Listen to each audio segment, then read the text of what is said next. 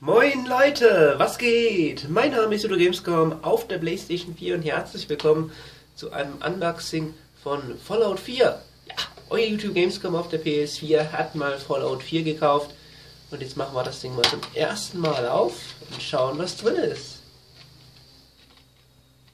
Oh, scheiße, geil. Mamma mia, Leute. Ich kann es nicht glauben, aber es ist tatsächlich so. Da ist die CD Fallout 4 und sie symbolisiert eine Atombunkertüre. Ja, so sieht das aus. Und dabei ist natürlich, hier, wir sehen es, eine, ja, es ist richtig, eine Karte mit kleinen Männchen. Und zwar sind das die Spezialeffekte, die man, die es da gibt. Schaut es euch genau an. So sieht das aus. Irgendwelche Spezialeffekte. Und da ist natürlich noch mehr dabei. Einen Session Pass. Was immer das bedeutet. Vielleicht wisst ihr das.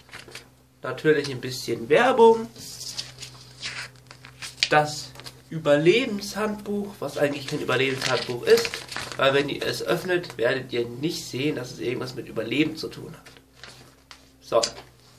Und natürlich noch, ne, das war's. Das war's. Fallout 4 ist ein Ego-Shooter-Spiel, was in einem Atomkrieg zerstörten, Atombomben zerstörten Boston spielt. Es ist so, es ist genau, es ist möglich, äh, in First Person zu zocken, also in Ego-Shooter-Perspektive, in Drittperspektive Drittpersonen-Perspektive wie in GTA. Und man kann Menschen töten und die Gliedmaßen abballern. Das heißt, ihr könnt den Kopf wegballern, die Arme wegschießen und was weiß ich, mit der Axt die Hand abhacken. Alles möglich in dem Spiel. Das Spiel ist in Deutschland 100% uncut. Und ja, gibt es für 59 Euro zu kaufen. Geiles Ding. Wird irgendwann mal angetestet in den nächsten Tagen.